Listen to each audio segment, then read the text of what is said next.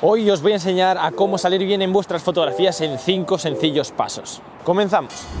Por cierto, voy a desmontar un mito y ser guapo no es salir bien en las fotos y salir bien en las fotos no es ser guapo. Así que os recomiendo que os quedéis hasta el final para ver cómo podéis salir bien en vuestras fotos. Por cierto, como quiero que este vídeo sea válido para todo el mundo y que lo podéis aprovechar, todas las fotos van a estar editadas con Luminar, un programa de edición de fotos muy sencillo para que podáis utilizar sin necesidad de haber tenido conocimientos sobre edición de fotografía previo. Continuamos. Lo primero de todo va a ser hacerse un autoanálisis. ¿Y cómo hacemos esto? Quiero que cada uno de vosotros os miréis al espejo, os miréis en fotografías anteriores, que veáis cómo es vuestro porte, cómo es vuestra constitución, que veáis si sois altos, bajos, gordos, delgados, de talle corto, de talle largo, pero con las premisas de que todos valemos como modelos y la segunda que los defectos no son defectos, sino que son características distintas a las de los demás. Y si no me creéis, sin ir más lejos, simplemente mirad a Winnie Harlow, una modelo con manchas en la piel llamadas vitíligo que ha llegado a lo más alto en el modelaje. Pues imaginaros la gente que dice, no es que mi nariz mide 2 milímetros más de lo normal. ¿Qué más da si posar esa actitud? Hacerse un autoanálisis es bastante sencillo. Simplemente poneros enfrente del espejo y haced así.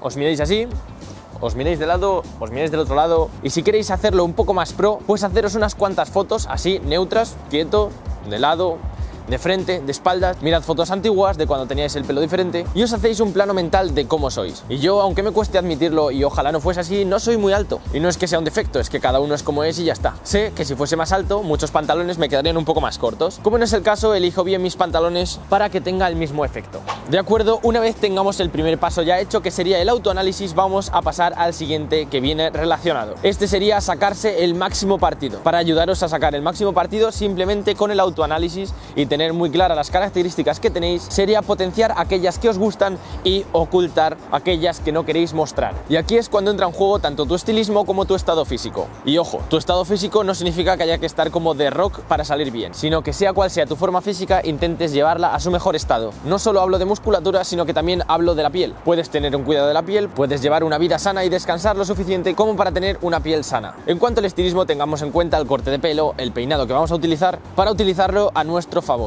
Si por algún casual, algún peinado se pone de moda y todo el mundo utiliza ese peinado, habrá gente que le favorezca y habrá gente que no. Un ejemplo sencillo, si piensas que tienes unas cejas bonitas, pero sin embargo te dejas un flequillo que te las cubra, estás desaprovechando una de las características que podrías mostrar. Yo con el tiempo voy viendo la forma que tiene mi cara y en base a eso voy decidiendo mi peinado y mi corte de pelo. Para ver si esto funciona, haceros una foto ahora mismo y en unos días os saquéis el máximo partido y os intentéis hacer otra foto para ver las diferencias. Yo llevo aproximadamente unos 10 años desde que soy consciente de lo que es el estilismo, de lo que es sacarse partido, etc. Y sin ir más lejos, este soy yo hace 10 años y este soy yo ahora mismo. Como el cuerpo y la cara va cambiando, lo que hago constantemente es intentar sacar partido. Cada cosa está hecha por algo. Hay razones por las que llevo estos pendientes, por las que tengo el pelo así, por las que he visto así, y es porque pienso que me favorecen. Pues igual que a mí, a vosotros habrá algún tipo de outfit, algún tipo de estilo que os va a favorecer igual. Eso sí, vais a tener que probar un montón hasta que lo encontréis. He llevado el pelo de mil formas diferentes, pero creo que esta es la que más me está convenciendo ahora.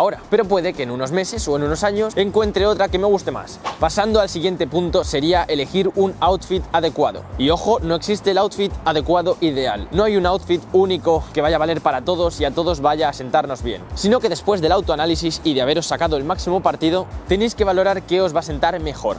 A menudo, cuando voy por la calle a hacer fotos a desconocidos y me fijo en la gente, no me fijo en quién lleva ropa más bonita o quién lleva ropa más cara. Simplemente me fijo en su estilismo y si el outfit está acorde con su persona. Es decir, que si le sienta bien. Para que te siente bien la ropa no tienes que tener un 90, 60, 90 o ir al gimnasio todos los días. Tienes que fijarte si el corte que llevas es bonito, queda bien, los colores te favorecen, las texturas pegan y para ello no hay que dejarse todo un dineral, sino hay que buscar muy bien. Y si no me creéis, poned en internet tienda de segunda mano en vuestra ciudad. Ya veréis cómo hay un montón de cosas.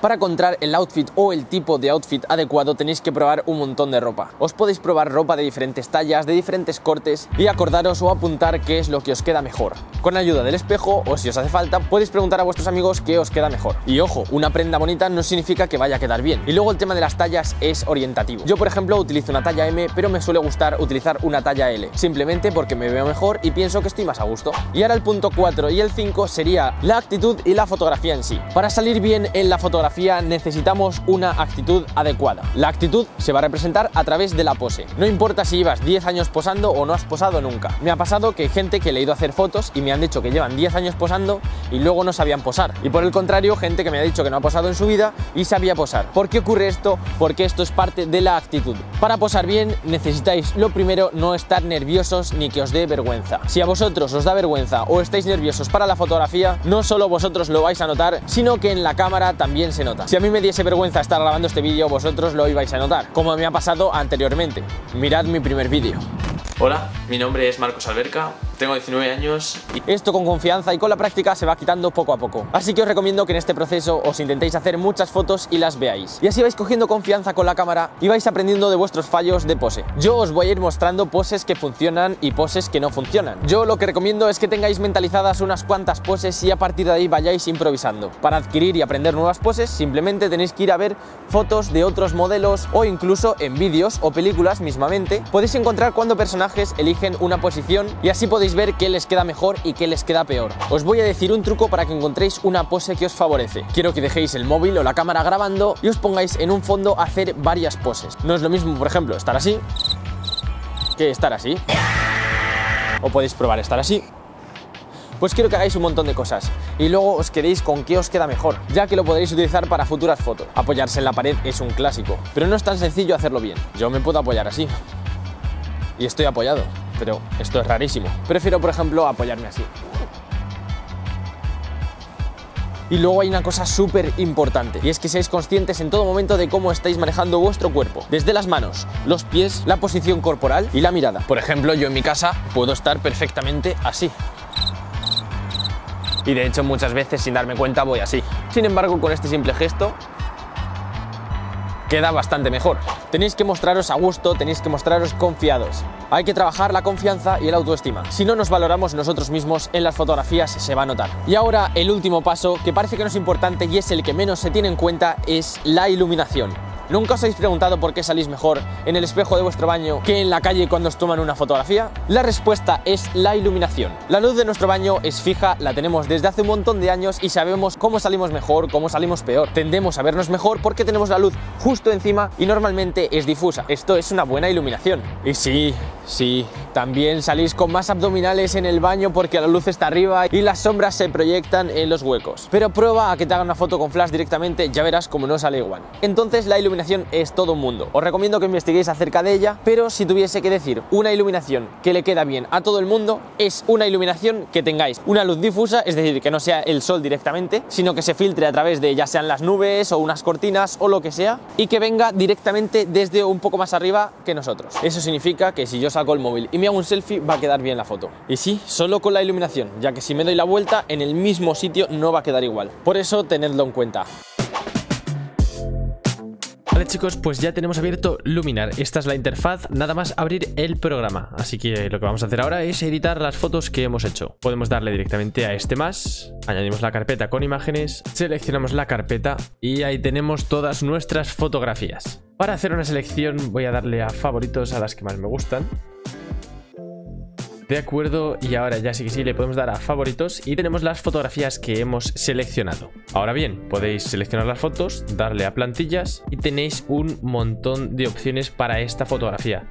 Tened en cuenta que esto funciona con inteligencia artificial. ¿Qué quiere decir eso? Significa que nos va a reconocer la cara. Igual que los filtros de Instagram, por ejemplo, que una vez lo abres te reconoce la cara y sabe cambiarte los ojos de color, sabe ponerte los filtros en el sitio que tiene que ir. Pues aquí igual, ya sea para retrato, para paisaje, para lo que sea. Por supuesto, podéis elegir o las plantillas o este botón de editar y lo podéis hacer manual. ¿Queréis editarla rápidamente? Por ejemplo, elegimos un monocromático y le damos a mate elegante. Aquí podemos elegir la intensidad del filtro. Bueno, si es blanco y negro no tiene mucho sentido a la mitad. Pero podéis elegir el que más os guste. Pero como yo no soy mucho de plantillas, voy a reiniciar los ajustes y voy a ir a editar.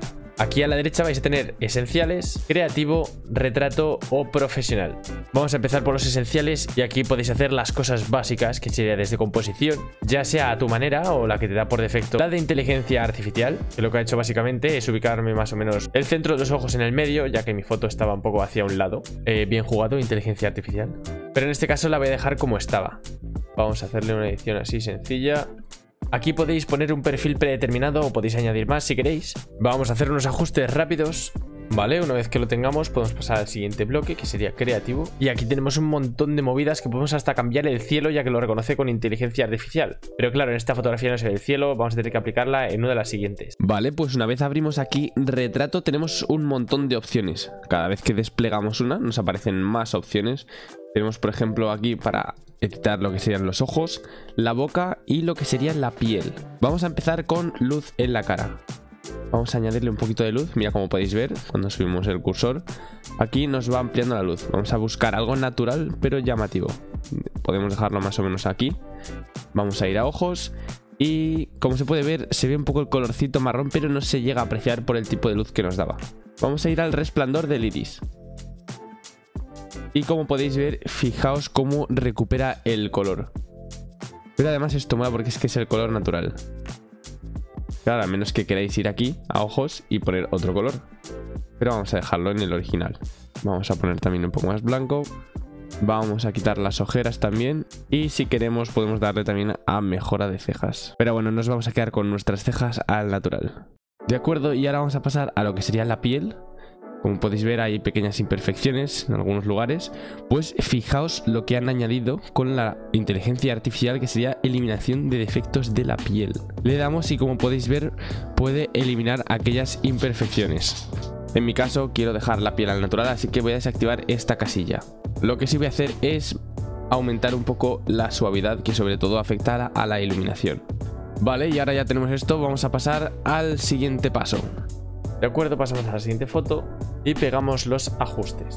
Vale, como podéis ver aquí sí que hay aberración cromática. Es esto que podemos ver aquí que sale como un color que no debería existir. Así que vamos aquí a la sección Pro, óptico, eliminar aberraciones cromáticas. Lo activamos y voilà. Vale, de acuerdo, pues ahora llega mi parte favorita. Ahora sí que podemos ir a creativo y vamos a tocar tanto lo de cielo como lo de rayos de sol. Vamos a probar con rayos de sol y vamos a añadir un par y mirad, o sea, mirad qué, bien queda, qué real. Directamente haces así y ya está. Ya está. Fijaos qué barbaridad de parámetros que tenemos solamente para poner los rayos. Vale, vamos a ir ahora a cielo y como podéis ver, selección del cielo, simplemente elegid qué cielo queréis poner. En mi caso voy a querer poner un sunset 1. Vale, voy a ponerlo en este lado y ya lo tendríamos. Hemos pasado a tener una foto sin cielo porque directamente estaba quemada a tener una foto con un atardecer y un sol con unos rayos del sol. O sea, pero... Pero qué locura es esta. O sea, ¿os dais cuenta de, de, de, de hasta dónde hemos llegado con la edición. Vale, pues es que ya está. O sea, con un simple ajuste ya, ya tengo el, cielo de la siguiente fotografía también.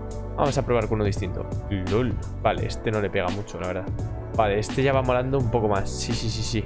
Este está guay. Vamos a ponerlo ahí modo atardecer. Eso es.